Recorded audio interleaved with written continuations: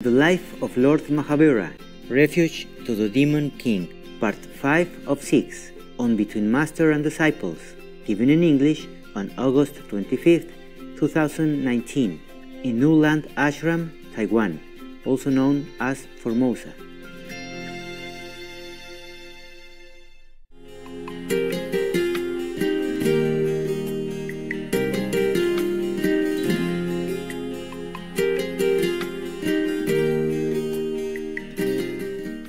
Astral level, they're not only demons, yeah, not only hell, but there are different level of heavens, and there are also teachers there, masters of high enlightened degree, like the master of Swami Yogananda.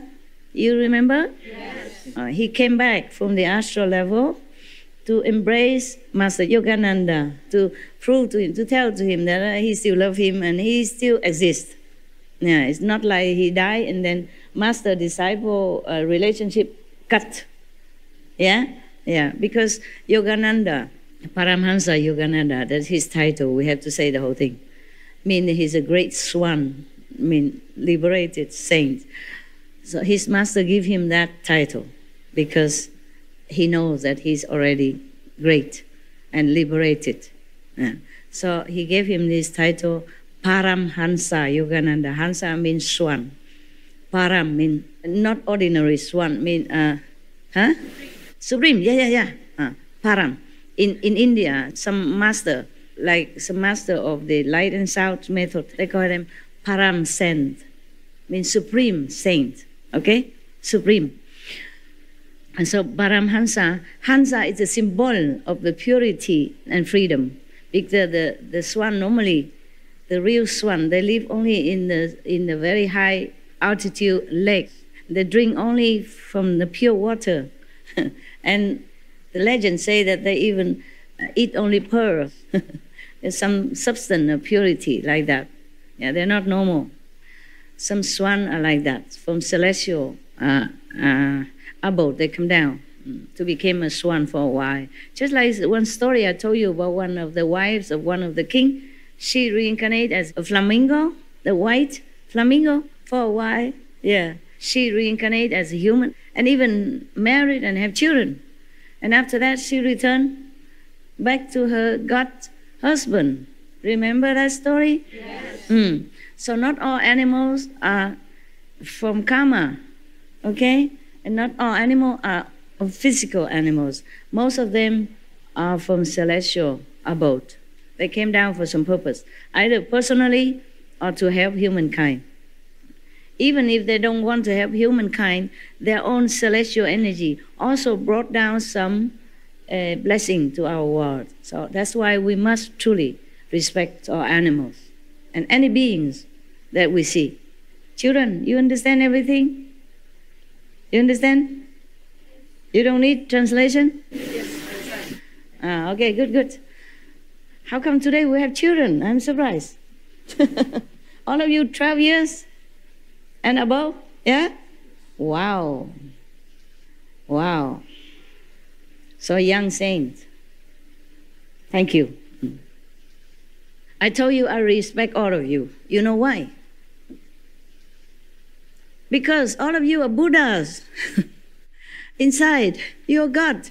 It's just you have to play your role. I don't know why. I'm too lazy to check out why you play this stupid role or this terrible person or good person. I don't care anyway. I know I know you are God inside. You have God nature inside, you have Buddha inside. So whatever role you play, I still respect you. And whether you harm me or you help me or you hate me, you love me, I respect all of you.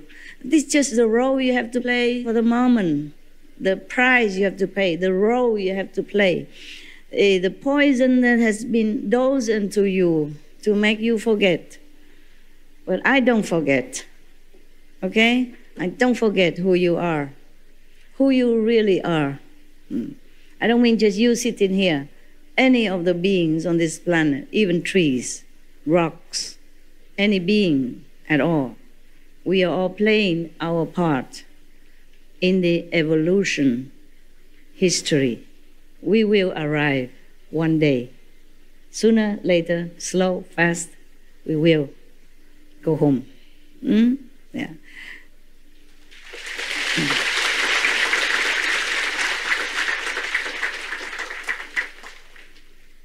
Yes, just like Lord Mahavira.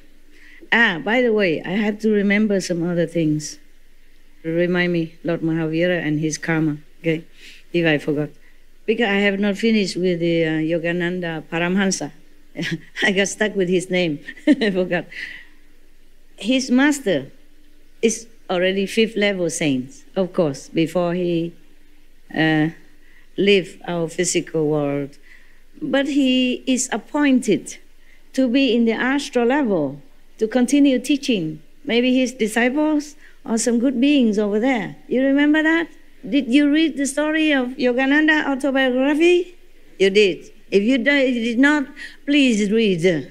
Uh, please read. Uh, so that you understand more about spiritual practice and about masters and about disciples and about sentient beings and have respect for all.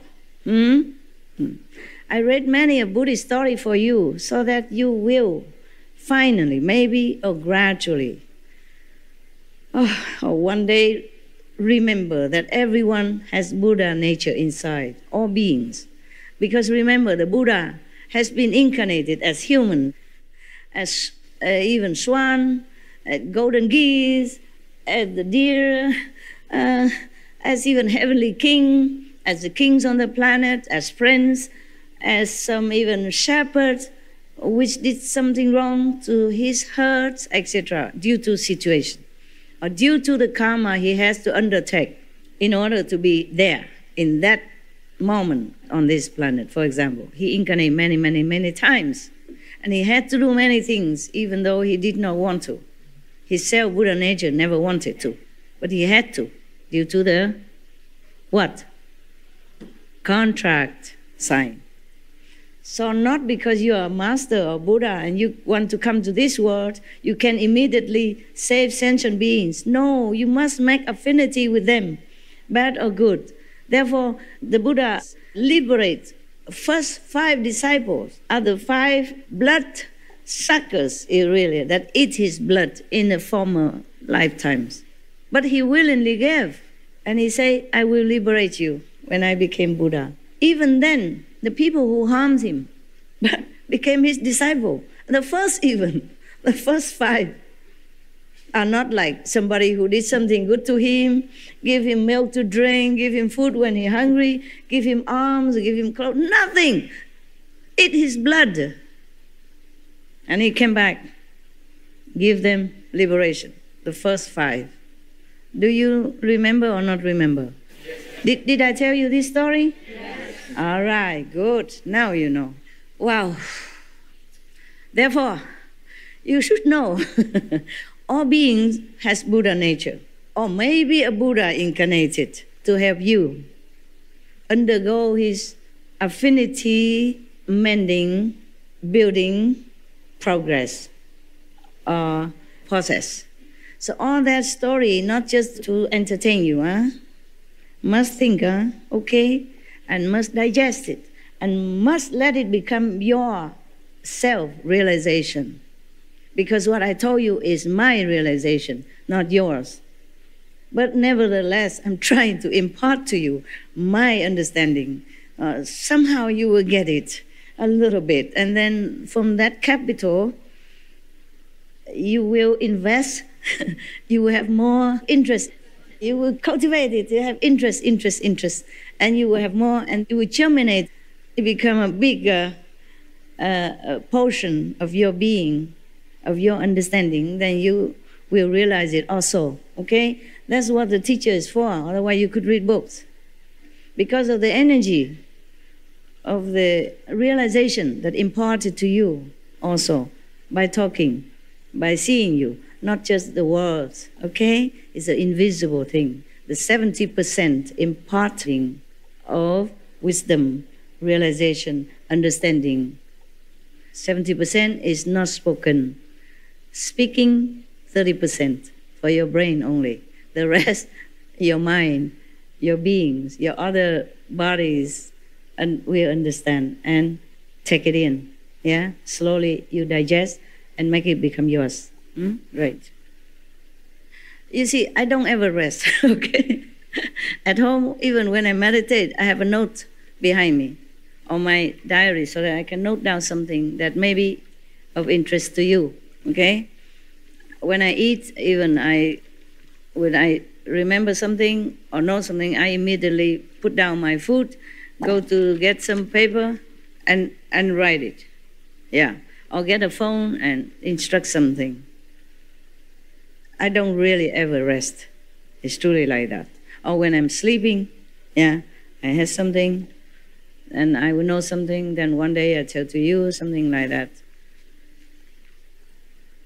For example, the, the method, the difficult, dangerous method I just told you, yeah, I realized the other day, a few days ago, that this Sunday I have to tell you. Maybe somebody asking this question at home. Because if they have family, they cannot avoid this. So I thought maybe I uh, give you a little bit more help uh, in this direction. So you don't have to leave your family or even your pleasure, but try to make it into some more noble purpose. Try, at least you try. Hmm? Just like you practice Kuan method in the beginning, you don't see much, only at the time of initiation. But you're still trying, okay? Trying is also a kind of success because that means you never leave the path. You're still there. Success or not, heavens will help you trying, that is the best already. Okay? Because in this world, trying is all we can. We have no power. We cannot resist too many things. We don't have enough time. We don't have enough opportunity. We don't have enough time, truly. I don't know how you do this at home, truly. Because I know I work very hard also. I hardly have time I also very tired when I try to meditate. I understand everything that you're going through because I'm going through the same. I have to work inside as well as outside and doing business and paying tax, whatever you know it. Whatever you know, I know. And I also been attacked by karma, by sometimes bad disciples, sometimes bad people outside, jealousy, envy, all kind of things, yeah? Yeah, all kind of karma also.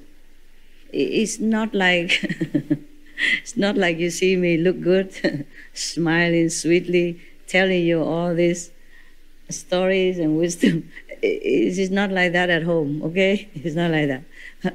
But I learned to look good and, and to feel good, at least when I'm with you. And other thing, garbage, I take care alone uh, at home. Yeah, you don't need to know all that. Just like your parents normally don't tell you about the problems they face, you know, financial problem, hard time at work, harassment by bosses or by colleagues, and other kind of things. Yeah. And when you have argument with each other, you close the door, you don't let the children hear it. Yeah, so similarly, that's how I can sympathize with you, that I can bear you, and I can still sit here talk to you. and never mind, I try my best, and you try your best. Huh? I'm not blaming anybody. Okay, Lord Mahavira. Mm, now, I remember. You probably ask me question inside your heart. We have too many people, we can't always ask questions, but I know what you ask. Like why, for example, Lord Mahavira only ordered to put some mm, hot molten lead into one person's ear one time only why he has to be tortured by that person when he became a god in heaven so many times. Yeah, you would ask me that question. Some of you ask. Only one time. Why are tortured so many times? Because the interest. Yeah? It's just like when you do some good deeds, the Buddha say, công đức vô lượng. I mean, lot, a lot of merit. Eh, Sometimes Buddha say 90 years still have that merit. And some story I told you, one person even opt for Buddha just eh, some little thing to eat one time, or even stones to offer to the Buddha with all respect and sincerity because he had nothing else to offer, or just a very dirty piece of cloth because she has nothing else to offer. But then 90 aeons always have a born with a beautiful cloth. And the cloth grow as a person grow. Yeah, for example, our life after life have a lot of richness and glory, yeah, and good position because of the interest. Just like you put money in the bank. Yeah? One time. You don't touch it. If you touch it, then you will have some interest, but very little. But if you lock it up for 10 years, five years, or more, you have a lot, lot, lot of interest, right? You know that, right? Or if you don't know that, I can't help you. Even I know. Finally, I knew some, some stuff about the bank. so the same. If we do good deeds, we have a lot of merit. Yeah? So the same. If we do bad deeds, a lot of interest also. A lot of bad things come, multi, multifold. So Lord Mahavira came down as a human being, must accept all this. Because this is a norm in this world. You know, in the physical world, must have give and take, must have sorrow and happiness. Cannot have only one way street. He has to accept that before he came down. He has to have to do that so that later when he practice, when he want to be liberated, he has to pay back multiple time, one person after another, even from one person like Shangan. He tortured him by his own power many times, again, again, and again, non-stop. And the Buddha also, and any saint. Therefore, have respect for all beings, because they have to undergo something. You never know. Maybe they are Buddha, they came down to suffer so that they can have affinity with human beings or with other beings. You see, the Buddha don't only make good affinity because most people in this world, I mean, not most, but a lot of people, a lot of beings in this world are not so kind. So not like everybody come out when the Buddha go out, they would give him food or anything like that. They maybe reject or they maybe slander him, they may be scolding him, they may be uh, how say, chasing him away, even then, it's still an affinity. Just like the first five disciples who eat his blood, suck his blood, but became his monks and get liberation directly from the Buddha, the first one even.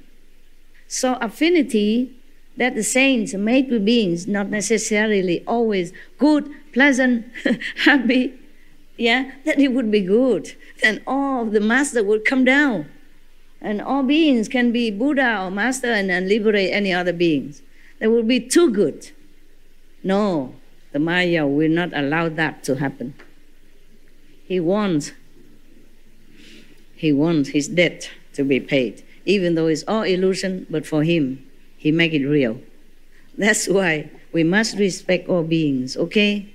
You never know who is what.